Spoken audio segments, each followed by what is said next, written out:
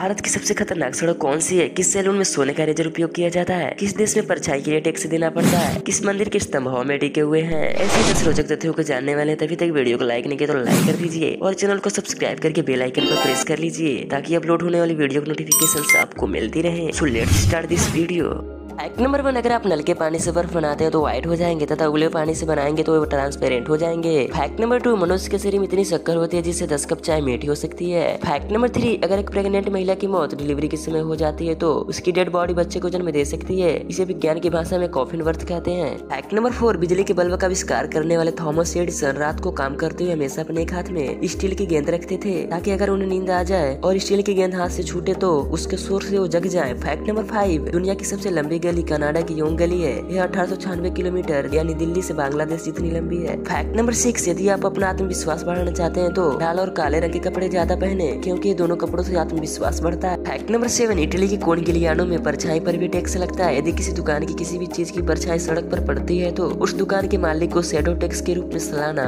सौ यूरो थाने में देने पड़ते हैं। फैक्ट नंबर एट पूरे के सैलून में अस्सी ग्राम के सोने के रेजर से दाढ़ी बनाई जाती है, जिसकी कीमत चार लाख रुपए है। इस सैलून में एक बार दाढ़ी बनवाने के लिए सौ रूपए चार्ज लिए जाते हैं। फैक्ट नंबर नाइन भारत में ऐसे कई मंदिर हैं जो कि अपने चमत्कारों के लिए पूरी दुनिया में प्रसिद्ध हैं। ऐसे में आंध्र प्रदेश के अनंतपुर में एक ऐसा मंदिर है, जिसे लोपाक्षी या वीरभद्र मंदिर से जाना जाता है। इस मंदिर की विशेषता यह है की इस मंदिर के स्तंभ बिना किसी सहारे के हवा में लटके हुए हैं। Fact number ten Kolli hills Bharat की सबसे खतरनाक सड़कों में से एक है, जिसमें सत्तर से अधिक मोड़ है। यह तमिलनाडु में स्थित है।